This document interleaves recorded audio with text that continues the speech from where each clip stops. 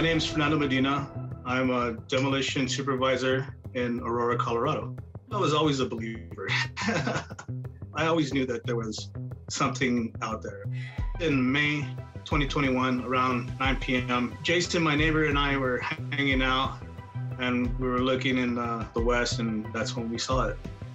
Jason Sirachi, the guy who was with me, he's the one that got me into this. From what I understand, is that he got a computer to digitally make like signals, and then we would send them out with a walkie-talkie. We would hang out very, very often, maybe four nights a week, uh, as much as we possibly could. We're just like trying to see if it worked, and I think it might have worked because we did see something. so Jason and I were, were getting started. Um, I got the binoculars and uh, started walking down towards the alley and uh, we're just talking. I had my drink on the floor and I had bent down to get it. And that's when uh, Jason seen it in the sky and he was like, hey, hey, hey, check it out, check it out. I look up and I'm like, oh man, that's crazy. I've never seen anything like that. It was, it was a different kind of uh, event. Uh, so I grabbed my camera, panicking, and I just like started recording. And I was like, oh, wow, check it out. And we were filming it for like at least five minutes, just watching it. And I was like, whoa, whoa, whoa, check it out. You know, no way is that real. No way that real, you know? It looked like a bunch of circles making a long cylinder or something. I was super, super excited because it was one of the rare ones that you see. I was super, super hyped.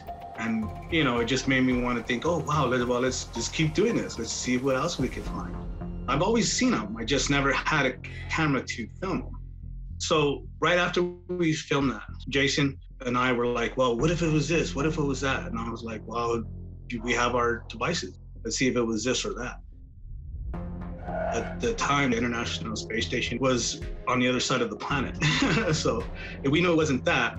Uh, we knew it wasn't a satellite because 99% of the time when we go out and film, usually we see satellites flying in the sky. And you could tell what they look like. They're like little spheres flying in this, you know, single path and they'll go across the sky. This one was different because first off, it was a cigar and it didn't go from one side of the sky to the other. It went directly straight up from where it was at and it disappeared. I think it was a UFO. I think it was something that's been here before and will be here again. It's just something that we don't see too often. It might have been the signals, it might have just been, you know, luck. I, I say this a lot. I say space and the universe runs on its own time. Whether or not you're lucky enough to see it, it's, it's up to the universe. When I started telling my circle of friends what I was doing, they all started looking up. And then now they're starting to see more. I've always known that there's something more, but it made me a little bit more ready to catch it. And that's what you got to be. You got to be ready to catch it. You got to be ready to film it. So it got me on my toes a little bit more. Uh, always looking up, always checking, seeing if there's something around me.